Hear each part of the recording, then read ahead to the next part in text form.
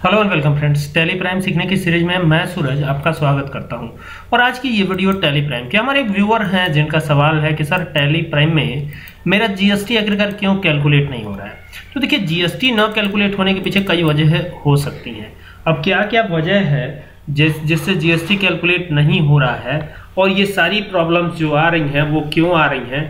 इन सब पर, इस, इन सब बातों पर एक डिटेल में वीडियो ये बना रहा हूँ। इससे आपको ये पूरी तरह से क्लियर हो जाएगा कि क्यों आखिरकार जीएसटी हमारा कैलकुलेट नहीं होता? एक तो पहला काम कि आप ठीक से एक्टिवेट नहीं करते। अब चाहे आप टैली ईआरपी नाइन की बात कीजिए चाहे चाहे आप टैली प्राइम के बारे में बात कीजिए, दोनों में कहानी सेम होती है, ठीक है? तो यहाँ पर मैं एजुकेशनल मोड यूज़ कर रहा हूँ और यहाँ पर आप देखिए, ये टैली प्राइम ओपन हो गया है। अब यहाँ पर एक कंपनी हमें बनानी है। तो क्रिएट कंपनी का ऑप्शन आपको दिख ही रहा है। ठीक है? अगर आपको ना दिख रहा हो तो गेटवे ऑफ़ टैली पे आके F3 प्रेस कर लीजिएगा। वहाँ से कंपनी क्रिएशन वाला फॉर्म खुल जाता है। फ़िलहाल हमें यहाँ पे क्रिएट कंपनी दिख रहा है ऊपर ही। तो यहाँ पर जाकर के कर्सर हमारा यहीं पर है, हम सीधा एंटर कर देते हैं। तो एंटर करते ही नया फॉर्म खुलेगा। ठीक है? अब ये जो नया फॉर्म है, इसमें हमें कंपनी का नाम देना होता है। ठीक है? तो यहाँ पर मैं कंपनी का नाम दे देता हूँ। माँ शॉप ठीक है? ये हमने लिख दिया। एंटर किया एंटर किया और यहाँ पे लोकल एरिया का एड्रेस आएगा। तो हमने यहाँ पे न्यू कॉलोनी देवरिया रख दिया है लोकल एरिया का एड्रेस ठीक है, यानी दुकान कहाँ पे है, वो एड्रेस हमने डाल दिया। ठीक है, यहाँ पर जैसे ही आते हैं तो यहाँ पर स्टेट का नाम आना कंपलसरी है। तो यहाँ यू प्रेस करूँगा और यहाँ पर यू प्रेस करके उत्तर प्रदेश कर दूँगा। ये उत्तर प्रदेश कर दिया हमने। यहाँ पर पिन कोड आएगा तो यहाँ two seven four double zero one ये पिन कोड हमने डाल दिया एंटर किया एंटर किया। ठीक है, टेलीफोन नंबर वगैरह है, वो सब डाल दीजिएगा। फैक्स नंबर है तो वो सब डाल दीजिएगा। वेबसाइट का नेम डाल दीजिएगा।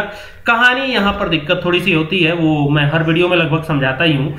ये आपका फाइनेंशियल ईयर स्टार्ट होने का डेट है। अगर आप यूएई या सऊदी अरेबिया जैसी कंट्रीज़ से बिलोंग करते हैं तो वहाँ पे फाइनेंशियल ईयर शुरू होता है एक जनवरी से, ठीक है? लेकिन हमारे इंडिया में और मैक्सिमम जगहों पर एक अप्रैल से ही शुरू होता है तो हमने एक अप्रैल 2024 फाइनेंशियल ईयर स्टार्ट होने की डेट रखी है। लेकिन काम हमारा कब से शुरू हो रहा है? काम हमारा शुरू हो रहा है दो सात 2024 से। तो वो डेट यहाँ पर आएगी। अब एंटर करके देखिए, ये आईएनआर जो है फॉर्मल नेम है इंडियन करेंसी का तो ये मैंने दे दिया है। अब क्या करना है? एंटर करके इसे एक्सेप्ट करा लेना है। और एक्सेप्ट कराते ही टैली प्राइम में एक नई विंडो खुलेगी। अगर टैली ईआरपी नाइन है तो वहाँ पर जब ये एक्सेप्ट हो जाएगा तो आपको एक शॉर्टकट की प्रेस करनी होती है एफ़ इलेवन तब ये विंडो ओपन होती है। ठीक है, लेकिन इसमें देखिए बहुत सारी चीज़ें हाईलाइट नहीं है। मतलब ओपन नहीं हुई है। तो यहाँ लिखा हुआ है शो मोर फीचर्स तो यहाँ पे जाकर डबल क्लिक कीजिए तो ये यस वाला ऑप्शन खुल जाता है। इस पर क्लिक करके एंटर कर दीजिए। तो देखिए, अब कुछ और ऑप्शन भी खुल गए हैं। और भी ऑप्शन यहाँ देखना चाहते हैं तो यहाँ पर ये जो नो है, इसको भी यस कर दीजिए। तो और भी बहुत सारे ऑप्शन खुल जाते हैं। यहाँ पर आपको मेंटेन अकाउंट्स को यस रखना है। इनेबल बिल वाइज एंट्री इसको भी यस रखना है। ठीक है? और यहाँ पर सीधा चले आते हैं जीएसटी पर। ठीक से अगर जीएसटी आप एक्टिवेट नहीं करेंगे तो आपका जीएसटी कैलकुलेट नहीं होगा, ये ध्यान रखिएगा। यहाँ पर वाई बटन प्रेस कीजिए और एंटर कर दीजिए। जैसे ही एंटर करते हैं तो यहाँ पे रजिस्ट्रेशन टाइप एक्टिव दिखा रहा है। और यहाँ पर आप देखेंगे स्टेट तो हमारा उत्तर प्रदेश ही है। दो तरीके की जीएसटी होती है, एक रेगुलर होती है और दूसरा कंपोजिशन होती है। और एक और आया हुआ है रेगुलर सेस ठीक है तो रेगुलर सेस छोड़ते हैं। और कंपोजिशन कंपोजिशन हर ती, तीन महीने पे जीएसटी फ़ाइल होती है। आ, हमें क्या करना है यहाँ रेगुलर ही रखना है। तो रेगुलर रख दिया। इस ऑप्शन को नो रखना है आपको। एसीज एसीजी ऑफ़ अदर टेरेटरी जो दिया इसको नो रखना है। यहाँ पर अब आपका आएगा जीएसटी आई नंबर तो ये आप जीएसटी आई नंबर दे करके एंटर कर दीजिए। और एंटर करने के बाद यहाँ पे मंथली रख लीजिएगा ठीक है? ई इनवाइसिंग आप चाहते हैं या नहीं ये देख लीजिएगा। एंटर करते हुए यहाँ आ जाइए। ई वे बिल एप्लीकेबल ही रहेगा ये भी आपको ध्यान देना है ठीक है? इसके बाद क्या करना है? यहाँ पर एंटर करना है एंटर करना है। और यहाँ पर देखिए, यहाँ पर जैसे ही आते हैं तो ये एक्सेप्ट वाली विंडो आ जाती है, इसको एक्सेप्ट करा लीजिएगा, ठीक है? इसके बाद देखिएगा, ये नया ऑप्शन टेलीप्राइम में आया हुआ है set oblique alter company GST rate and details for other details तो इसको भी यस करना, ये पहले भी था तो थोड़ा सा नीचे था तो आपको शायद ज़्यादा कन्वीनियंट था। लेकिन अपग्रेडेड वर्जन में यहाँ पे आ गया तो यहाँ पे यस करके एंटर कर दीजिएगा। अब जैसे ही एंटर करते हैं तो ये एक ऑप्शन खुलता है, ठीक है? आप चाहे तो इसको अनडिफाइंड ही नॉट डिफाइंड ही रहने दे सकते हैं, लेकिन यहाँ पर आपको जीएसटी की रेट को डिफाइन तो करना ही होगा। तो यहाँ पर आकर के स्पेसिफाई डिटेल्स हियर आप कर सकते हैं, ठीक है? या स्पेसिफाई स्लैब बेस्ड रेट्स भी कर सकते हैं। तो पहला ही ऑप्शन हम रखते हैं, और यहाँ पे टैक्सेबल और यहाँ पे 12 परसेंट का बाय डिफ़ॉल्ट जीएसटी हमने लगा दिया है। ईवे बिल कम से कम पचास हज़ार रुपए का माल खरीदा या बेचा जाना चाहिए, तभी तो ईवे बिल मिलेगा। ये तो आपको पता ही है थ्रेस लिमिट और 50 किलोमीटर की भी लिमिट होती है, ये भी आपको पता ही होगा। ठीक है?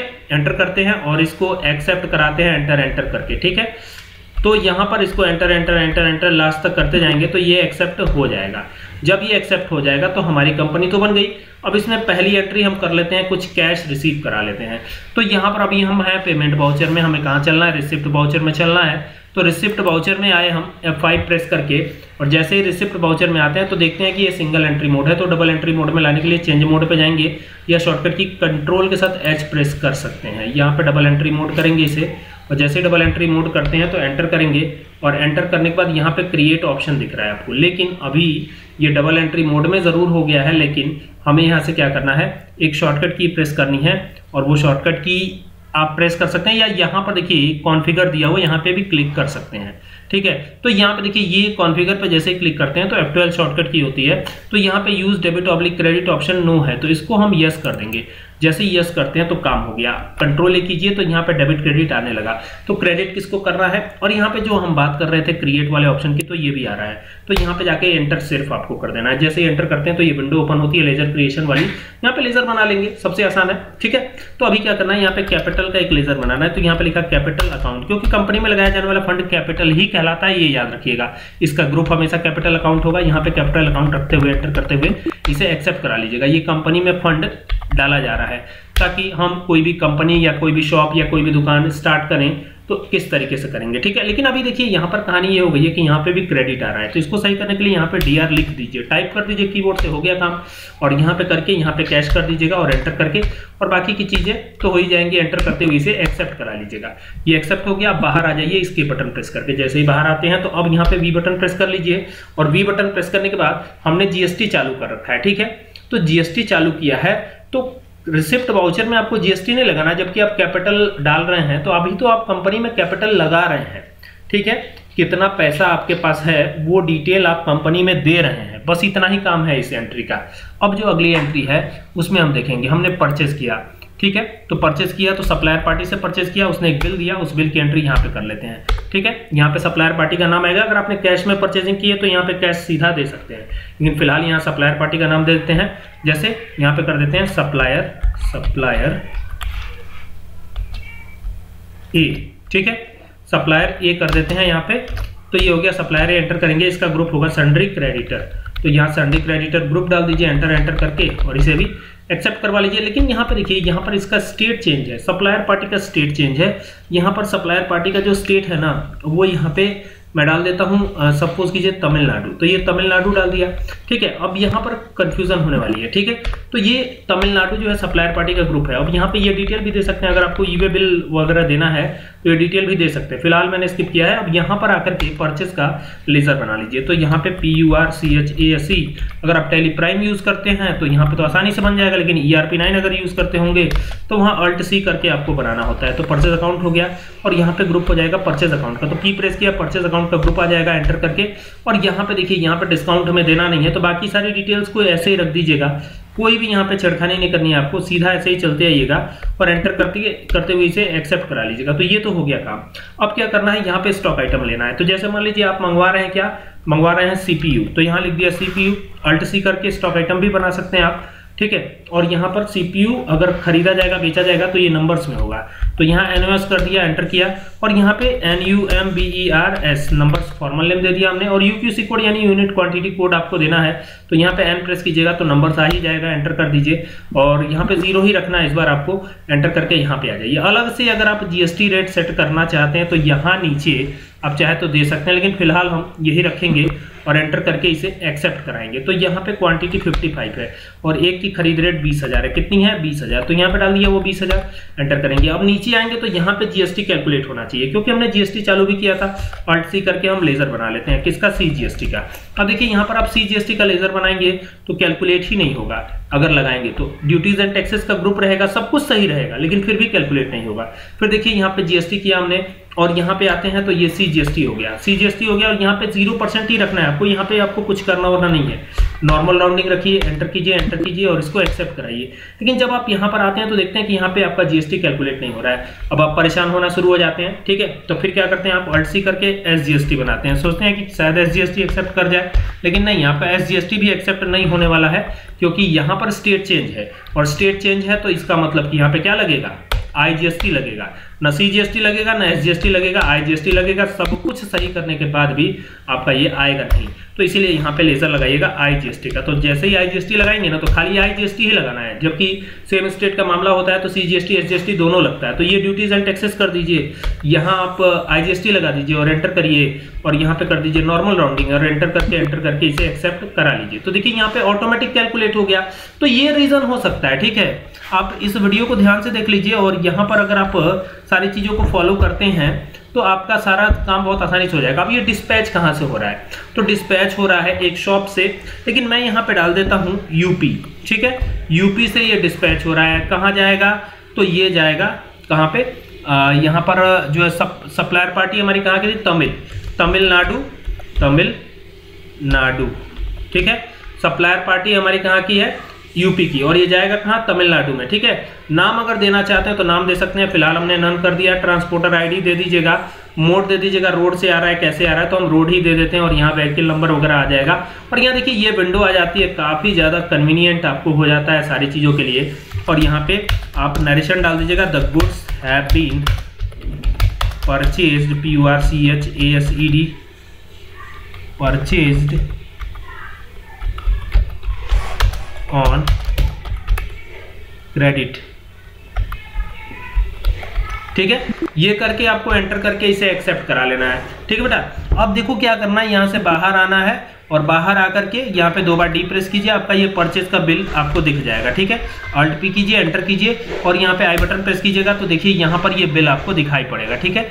और इसमें जीएसटी भी कैलकुलेट हुआ पड़ा है, जो कि आई है। ठीक है? लेकिन यही मैटर अगर, अब देखिए यहाँ पर तो ठीक है लेकिन यही मैटर अगर अब आप इसको सेल करने जाइएगा किसी और डेट पर जैसे डेट चेंज करने के लिए F2 करेंगे और यहाँ पे कर देते हैं एक आठ दो हज़ार चौबीस। एक आठ दो हज़ार चौबीस में अब हम इसे सेल करेंगे। तो वी बटन प्रेस करके F8 प्रेस करके कहाँ जाएँगे? सेल्स वाउचर में आ जाएँगे। और सेल्स वाउचर में पार्टी का नेम है। तो अगर मान लीजिए कैश ही कर दिया हो और एंटर करके एंटर करके आएँगे एंटर करेंगे एंटर करेंगे, यहाँ पर कंज्यूमर है तो वो तो रजिस्टर होता नहीं है। तो एंटर करेंगे एंटर करेंगे और यहाँ पर आएगा सेल्स का लेजर वहाँ परचेज आया था, यहाँ सेल्स का लेजर आएगा। तो यहाँ लगा दीजिएगा सेल्स का लेजर एंटर करिए एंटर करिए और इसका ग्रुप होगा सेल्स अकाउंट तो यहाँ से सेल्स अकाउंट दे दीजिए। तो सेल्स अकाउंट दे करके आपको क्या करना है? यहाँ ध्यान दीजिएगा, ये सेल्स अकाउंट है यहाँ पर, ये सेल्स अकाउंट है और यहाँ पर देकर के आपको कुछ करना नहीं है, ऐसे ही रहने देना है और यहाँ पर फिर देखिए एसीएबल वैल्यू कैलकुलेशन है। तो यहाँ पर आप नॉट एप्लीकेबल ही रखिएगा।